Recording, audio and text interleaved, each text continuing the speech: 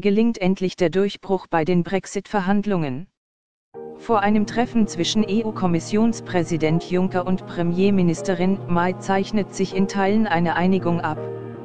Mehr zum Thema nach dem Brexit, schließt Irland nach Brexit wieder ihre Grenze.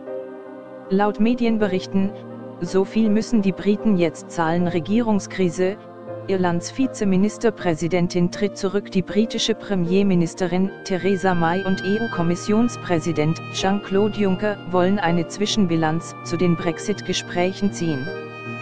Bei dem Mittagessen in Brüssel soll May klarstellen, zu welchen Zugeständnissen Großbritannien bei wichtigen Fragen des für 2019 geplanten EU-Austritts bereit ist.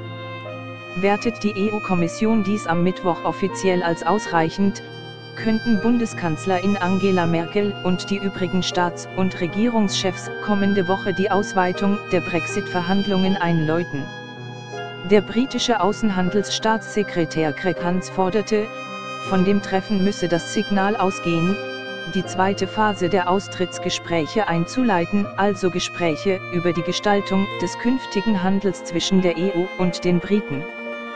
Die Briten erwarteten, dass der Europäische Rat Mitte Dezember den Anstoß für die Verhandlung der neuen Handelsbeziehungen zwischen Großbritannien und der EU gebe, sagte der Tory-Politiker der neuen Osnabrücker Zeitung. Klarheit ist absolut notwendig. Ich denke, wir sind in einer guten Ausgangslage dafür. Streit um Abschlussrechnung Mai steht unter enormem Druck. Sie hat angesichts ihrer hauchdünnen Mehrheit im Parlament Revolten von mehreren Seiten zu fürchten. Zudem bereitet ihr ein Skandal um ihren Stellvertreter und Kabinettschef Damian Green Probleme. Gegen Green läuft eine Untersuchung wegen Belästigungsvorwürfen, zudem soll auf einem seiner Dienstrechner Pornografie entdeckt worden sein. Green streitet alle Vorwürfe ab.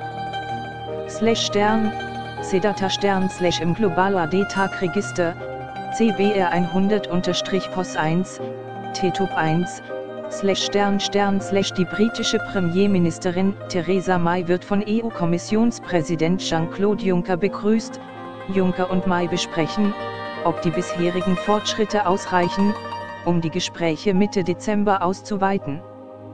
Quelle, Deutsche Presseagentur, vor dem Treffen mit May stimmt Juncker mit dem Europaparlament eine gemeinsame Verhandlungslinie ab.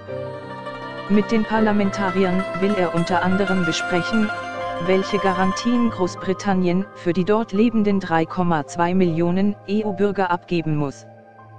Auch die Schlussrechnung Großbritanniens für die während der EU-Mitgliedschaft gemeinsam eingegangenen Finanzverpflichtungen dürfte noch einmal Thema sein. In beiden Fragen hatte es nach EU-Angaben Bewegung in den Gesprächen mit London gegeben.